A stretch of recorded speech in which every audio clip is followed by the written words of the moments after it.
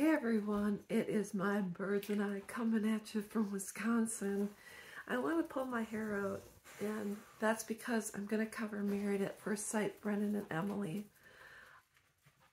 I don't know how these so-called experts believe that they are picking the right people because I can tell even from watching them their interview process, them talking with family members, and especially when they're up at the altar and they see the person who was chosen for them, I can tell immediately after that something is just not right. Brennan is a self-righteous, P-R-I-C-K.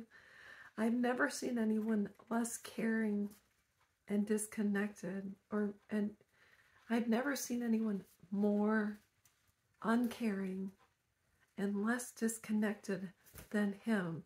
And she was taking leftover scraps, saying uh, she had her rose-colored glasses on, believing that the experts made the right choice, that it was going to work out. And when she was in that horrific accident, because he held her hand and cared for her, that he was just turning the corner.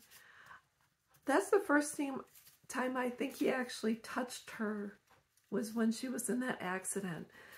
I can't, I, if I saw a stranger in an accident get hurt, I would show them.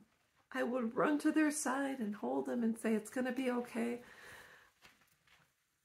She's got to figure out why she's accepting the bare minimum and why what he did gave her a glimmer of hope that everything was going to be okay or they were turning the corner. Emily, just take a break, stay single. I don't care that you didn't have a relationship before. You've had relationships with other women, your family. You got to raise your standard regarding what you expect in a future partner. Brennan, I can't stand you. You make me sick.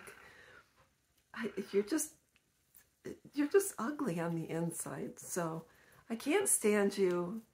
I hope you'll probably find someone, simply someone looking for to to date someone who was quote unquote famous or on television.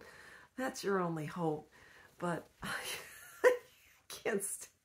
oh my gosh, I'm watching the finale where they sit down and choose one another. I'm in the middle of them talking. Emily, you got to find your voice. Don't settle. I, I, I don't know what the outcome is, but I know that you did not stay together and it was probably his choice. And I don't know.